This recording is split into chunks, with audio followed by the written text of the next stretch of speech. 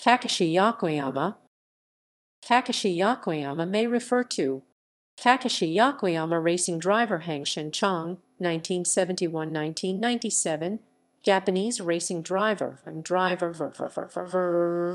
racing driver and driver and driver and driver and driver and driver and driver